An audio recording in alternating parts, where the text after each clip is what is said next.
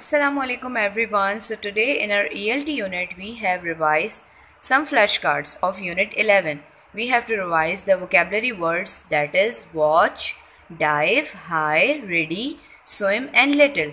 And we have done page number 32 of workbook 2 in which we have to find and write. We have to see the action then we have to write according to it. Alright? Jazakallah khair.